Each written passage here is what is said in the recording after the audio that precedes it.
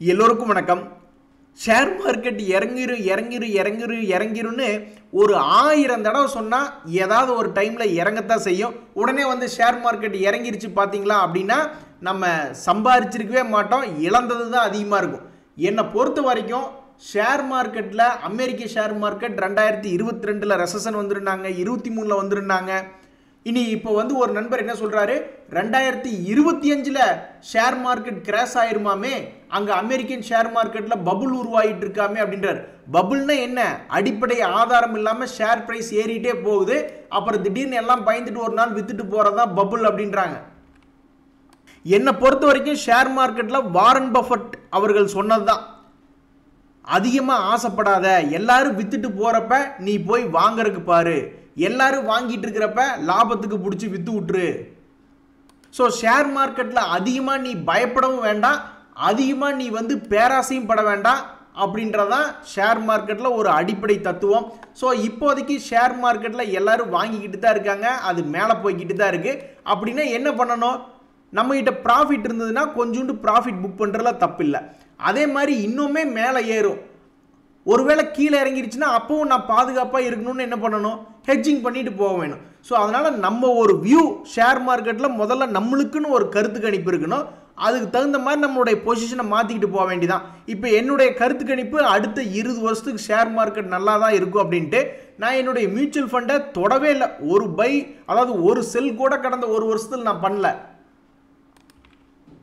So share மார்க்கெட்டில் வீணாக பயப்படாதீங்க. கடைசியில் நாலஞ்சு வருஷம் கழித்து பார்த்தாலும் நீங்கள் பத்து பைசா கூட சம்பாரிச்சிருக்க மாட்டீங்க. அதே மாதிரி ஷேர் மார்க்கெட்டில் ரொம்பவும் பேராசப்படாதீங்க. நல்ல லாபம் இருக்கும்போது கொஞ்சோண்டு லாபத்தை புக் பண்ணுறதும் தப்பில்லை. அடாடா இந்த கொடுமை பாருங்களேன். யாராவது பிசிஜி ஷேர் யாராவது வச்சுருக்கீங்களா?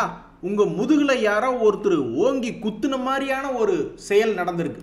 அதாவது இந்த ஷேர் வந்து ஆல்ரெடி சமீபத்தில் இவன் என்ன பண்ணியிருக்கான்னா நூறுரூபா ரேஞ்சிலேருந்து இப்போ வெறும் ஒன்பது ரூபா முப்பத்தெட்டு பைசா வந்துட்டான் சரி இப்படியாவது ஏதாவது தப்பிச்சு ஓடி போயிடலாமா அப்படின்ற மாதிரி நிறைய பேர் நினச்சிருப்பாங்க. ஆனால் இன்னைக்கு இடி மாதிரி ஒரு நியூஸ் வந்திருக்கு. என் இன் நியூஸ் அப்படின்னு பார்த்தீங்கன்னா இந்த ஷேர்னுடைய ட்ரேடிங் பிஎஸ்சி என்எஸ்சியில் சஸ்பெண்ட் பண்ணியிருக்காங்க அப்படின்ட்டு. என்ன காரணம்னா இவங்க அன்னைக்கே ஒரு இடம் நோட்டீஸ் கொடுத்துருந்தாங்க.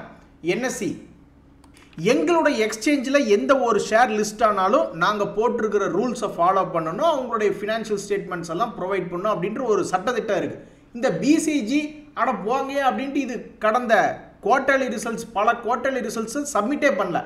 உடனே இவங்க ஒரு எச்சரிக்கை நோட்டீஸ் அனுப்பிச்சாங்க. ஜூன் பதினாலுக்குள்ள நீ இருக்கிற எல்லா ஜூன் பதினொன்றுக்குள்ள நீ எல்லா பெண்டிங் ஃபினான்ஷியல் ஸ்டேட்மெண்ட்ஸையும் நீ வந்து கொடுக்கல அப்படின்னா ஜூன் பதினாலில் நாங்கள் வந்து ட்ரேடிங்கை ஒரு பதினஞ்சு நாளைக்கு நிறுத்திடுவோம் அதுக்கப்புறம் உன்னை இசட் கேட்டகரியில் மாற்றிடுவோம் அதில் வந்து நீ ஒரு ஆறு மாதத்துக்கு வாரத்தில் ஒரே ஒரு நாள் நீ ட்ரேடிங் நடக்கும். அந்த ஆறு மாதத்துக்கு அப்புறம் என்ன பண்ணுறது மொத்தமாக நான் தூக்கி விட்டுறதா? அப்படின்ற மாதிரி முடிவெடுப்போம் அப்படின்ற மாதிரி ஒரு நோட்டீஸ் அனுப்பிச்சிருந்தாங்க.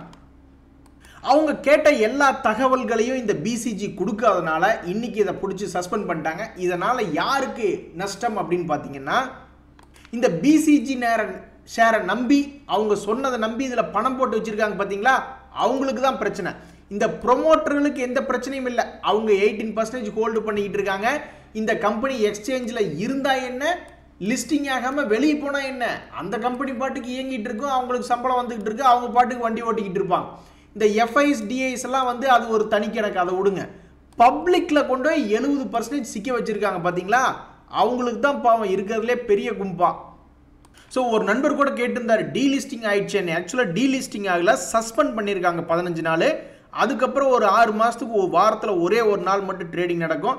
ஸோ உங்களுக்கு எக்ஸிட் ஆகணும்னா அந்த நாள் வரைக்கும் வெயிட் பண்ணி அப்போ ஆர்டர் போட்டு ட்ரை பண்ணி பார்க்க வேண்டியது தான் நண்பர்கள் இந்த சமயத்தில் ஒரு போர்ட்ஃபோலியோ ஸ்ட்ராட்டஜி ஒன்று நான் சொல்கிறேன் அது உங்களுக்கு உபயோகமா அப்படின்றது பாருங்கள் இது போன்ற பிரச்சனைகள் இருந்து நீங்கள் தப்பிக்கலாம். அதாவது ஒரு மியூச்சுவல் ஃபண்டுக்கே செபி என்ன சொல்லுதுன்னா உங்கள்கிட்ட ஒரு லட்ச ரூபா இருக்குன்னா பத்தாயிரம் ரூபாய்க்கு மேலே எந்த ஸ்டாக்லேயும் கொண்டு போய் பணத்தை போடாத உன்னுடைய போர்ட்ஃபோலியோ கன்ஸ்ட்ரக்ஷன் பண்ணும் பொழுது அப்படின்ற மாதிரியான ஒரு தகவல் சொல்கிறாங்க அப்போ இன்னும் விவரமாக இருக்கிறவங்க என்ன பண்ணுவாங்கன்னா ரெண்டு பர்சன்டேஜுக்கு மேலே நீங்கள் எந்த ஷேரை போய் வேணாலும் வாங்குங்க. அது திவாலாகி கம்பெனியை க்ளோஸ் பண்ணிட்டு ஓடி போகட்டும். அந்த வகையில் டூ பர்சன்டேஜுக்கு மேலேயோ அல்லது ஃபைவ் பர்சன்டேஜுக்கு மேலேயோ அல்லது டென் பர்சன்டேஜுக்கு மேலேயோ உங்களுடைய போர்ட்ஃபோலியோவில் அது லாஸ் பண்ணவே விடக்கூடாது. இப்போ நான் வந்து ஒரு ஷேரை ரெண்டாயிரம் ரூபாய்க்கு தான் வாங்குறேன். ஒரு லட்ச ரூபா என்கிட்ட பணம் இருக்குது நான் ரெண்டாயிரம் ரெண்டாயிரம் ரூபாய ஒரு ஐம்பது ஷேர் வாங்குறேன்னு வச்சுங்களேன். அப்போ ஏதாவது ஒரு கம்பெனி திவாலாகி வெளியே போயிட்டாங்கன்னா என்னுடைய மேக்ஸிமம் அஃபெக்ட் ஆகிறதே வந்து வெறும் ரெண்டாயிரம் ரூபா தான். ஒரு லட்ச ரூபா போர்ட்ஃபோலியோக்கு அஃபெக்ட் ஆகிறதே ரெண்டாயிரம் ரூபா தான். இந்த மாதிரி போர்ட்ஃபோலியோ கன்ஸ்ட்ரக்ஷன் பண்ணும் பொழுது இது போன்ற சில பிரச்சனைகள்லேருந்து நம்ம தப்பிச்சுக்கலாம். நண்பர்களே மூணு முக்கியமான விஷயம் இருக்கு. அதில் இந்த அம்புஜா சிமெண்ட் அப்படின்ற ஷேர்லாம் இன்னைக்கு ரெண்டு பர்சன்டேஜ் பாசிட்டிவ்ல இருக்கா? என்ன காரணம்னா இந்த அம்புஜா சிமெண்ட் வந்து பென்னா சிமெண்ட்ஸ் அப்படின்ற கம்பெனியை பத்தாயிரம் கோடி பக்கமாக கொடுத்து வாங்கியிருக்காங்க. இந்த தொழிலதிபர்களுக்கு வர்ற பிரச்சனை பார்த்தீங்களா நண்பர்களே?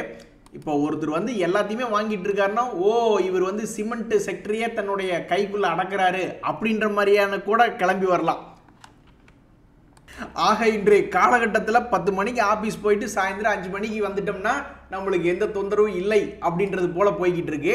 இன்னொரு முக்கியமான நியூஸ் அதாவது ஒரே கல்லில் ரெண்டு மாங்காய் அப்படின்ற மாதிரி எல்ஐசி ஷேர் டாக்டர் ரெட்டி ஷேரில் அவங்களுடைய ஹோல்டிங் பர்சன்டேஜை கொஞ்சம் இன்க்ரீஸ் பண்ணியிருக்காங்க இது போன்ற ஷேர்களுக்கு நியூஸ்கள் வரும்பொழுது அப்பா இவன் சப்போர்ட்ல எங்காவது எக்கு தப்பா திடீர்னு உழுகுறான்னு வச்சுங்களேன் இவன் என்ன உழுக மாட்டானா? இப்போ கூட சமீபத்தில் இந்த வருஷம் ஸ்டார்டிங்கில் ஆறாயிரத்தி ஐநூறுரூவா இருந்தவன் இப்போ கீழே ஐயாயிரத்தி அறநூறுவா வரைக்கும் போயிட்டு ஆறாயிரத்தி அறுபதுல ட்ரேட் ஆகிட்டு இருக்கான். ஸோ இது போன்ற நியூஸ்கள் வரும்போது திடீர்னு ஒரு ஒரு மாதம் வாட்ச் பண்ணிக்கிட்டே இருக்கணும். திடீர்னு ஏதாவது ஒரு காரணத்தினால ஒரு ஐயாயிரத்தி நானூறு அப்படின்னு வரும் பொழுது மேபி அது ஒரு சப்போர்ட்டிவாக இருக்கலாம். இன்றைக்கி நம்மளுடைய ஷேர் மார்க்கெட்டே கொஞ்சம் வாலட்டிலிட்டியாக இறங்கி ஏறிக்கிட்டு இருக்கான் ஆனால் இந்த கேஇசி இன்டர்நேஷ்னல் அப்படின்ற ஷேர் எடுத்து பார்த்தீங்கன்னா அடேங்கப்பா ஏழு பர்சன்டேஜ் இன்னைக்கு ஒரே நாளில் சம்பாரிச்சு கொடுத்துருக்கான் என்ன காரணம்னா இந்த ஷேருக்கு இந்த ரெண்டாயிரத்தி இருபத்தி நாலில் ஆர்டர் புக் அப்படின்றது ரொம்ப அதிகமாக இருக்குது அப்படின்ற ஒரு நியூஸ் வந்ததுனால இவன் தொடர்ந்து மேலே ஏறிக்கிட்டு இருக்கான் ஸோ இந்த ஷேர் வச்சிருக்கிறவங்களுக்கு ரொம்ப சந்தோஷமான செய்தி இந்த ஒரே வருஷத்தில் ஐம்பது பர்சன்டேஜ்க்கு மேலே லாபம் சம்பாரிச்சு கொடுத்துருச்சு. ஆனால் பாவிகளா இவ்வளோ நாள் நல்லா தானேயா போயிட்டு இருந்தது அப்படின்ற மாதிரி ஒரு எழுதப்படாத விதியாக இருந்தது. அதாவது ஃபாரினர்ஸ் எப்போ சேல்ஸ் பண்ணாலும் நம்ம ஆளுங்க அது கவுண்டர் பண்ணுறதுக்கு பை பண்ணுவாங்க அப்படின்ற மாதிரி இருந்தது. இந்த மாதத்தில் மட்டும்தான் அது கொஞ்சம் மாற்றமாக இருந்திருக்கு.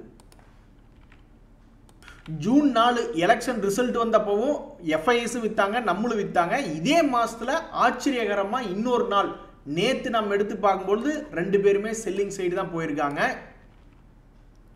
கொஞ்சோண்டு கொஞ்சோண்டு லாபத்தை புக் பண்ணி மறுபடியும் ரீஇன்வெஸ்ட்மெண்ட் பண்ணுறது அப்படின்றது என்னை பொறுத்த வரைக்கும் தப்பே கிடையாது. நண்பர்களே விப்ரோ ஷேர் யாராவது வச்சுருக்கீங்களா? அதில் தொடர்ந்து சமீப காலமாக நியூஸ் வந்துக்கிட்டே தான் இருக்குது இப்போ கூட பாருங்க சீமென்ஸ் கூட ஒரு கொலாபரேஷன் போட்டிருக்காங்க அப்படின்ற ஒரு நியூஸ் வருது. இந்த நியூஸுக்கு இன்னைக்கு விப்ரோ பெருசாக ஏரில் ஒரு நாலு ரூபாய் இறங்கி தான் இருக்கு. ஆனாலும் இவனுடைய லேட்டஸ்ட் ஹை ஐநூற்றி நாற்பது ரூபா வர்ற மாதிரி இருந்தால் கூட கரண்ட் ரேட்லேருந்து ஒரு ஆல்மோஸ்ட் பன்னெண்டு பர்சன்டேஜ் மேலே இருக்குது வந்துச்சுன்னா ரொம்ப சந்தோஷம் தான் இந்த ஷேர் சமீபத்தில் என்ன பண்ணியிருக்கான்னா ஒரு ஆல்மோஸ்ட் ஒரு நல்ல சப்போர்ட் அப்படின்றது எடுத்திருக்கான். இப்போ மிட் பாயிண்டில் இருக்கான். இந்த மிட் பாயிண்ட்லேருந்து மேலே வந்தால் தான் சந்தோஷம் வரும். கீழே வந்தால் சந்தோஷம் வராது. நண்பர்களே இப்போ நம்ம ஒரு ரெண்டு ஷேர் பார்க்க போகிறோம் எப்படி சம்பாரிச்சு கொடுக்குறானுன்னு மட்டும் பாருங்களேன். இது ஈஸியாக ஒரு கெஸ் பண்ணக்கூடிய வேலை தான் ஆனால் ஏர்னி முடிஞ்சதுக்கப்புறம் தான் நம்மளுக்கு தெரியும். அதாவது ஜேகே பேப்பர்னு ஒரு ஷேர் இப்போ அன்னைக்கு கூட ஒரு சப்ஸ்கிரைபர் கமெண்ட் பண்ணியிருந்தார். இந்த மாதிரி ஸ்டேஷ்னரிஸ் காலேஜ் ஸ்கூல்லாம் ஓப்பன் பண்ணுறாங்க ஸ்டேஷ்னரிஸ் மேலே ஏறுமோ பேப்பர் சம்மந்தப்பட்ட கம்பெனின்னு இன்னொரு நண்பருக்கு கூட சந்தேகம் இருந்தது. ஒருவேளை எல்லாமே டிஜிட்டல் மயமாயிடுச்சு பேப்பர் கம்பெனிலாம் எங்கே ஏற போகிறது அப்படின்ட்டு. ஆனால் டெக்னிக்கலி இந்த ஷேர்லாம் நம்ம வந்து ஒரு முந்நூற்றி இருபது ரூபா ரேஞ்சில் பார்த்துக்கிட்டு இருந்தோம். சரியா மூணே மாதம்தான் எப்படி சம்பாரிச்சு கொடுத்துருக்கான் பாருங்கள் சும்மா ஒன்று ரெண்டு பர்சன்டேஜ்லாம் இல்லை ஐம்பது பர்சன்டேஜ் அப்படின்றத சம்பாரிச்சு கொடுத்துருக்காங்க. ஸோ இந்த ஜேகே பேப்பருக்கெல்லாம் என்றைக்கு இருந்தாலும் அதுக்கெல்லாம் டிமாண்ட் இருக்கும் சப்போர்ட்டில் இருக்குது எடுத்து பார்ப்போமேன்னு யாராவது எடுத்து பார்த்துருந்தாங்கன்னா இன்றைக்கி ஐம்பது பர்சன்டேஜ் லாபம். அது ஒரே அது நூறு பேர் எடுத்திருந்தாங்கன்னா ஒருத்தர் ரெண்டு பேர் தான் இந்த ஐம்பது பர்சன்டேஜ் லாபத்தை பிடிச்சிருக்க முடியும். என்ன காரணம்னா இந்த ஷேர்னுடைய அவங்க டிராவல் பண்ணும் பொழுது என்னடா இவன் ஏறுறான் இறங்குறான் என்னடா இவன் ஏறுறான் இறங்குறான் ஆளை விடுறா சாமின்னு பல பேர் இங்கே கீழே விற்கிறதுக்கு வாய்ப்பு இருக்கு.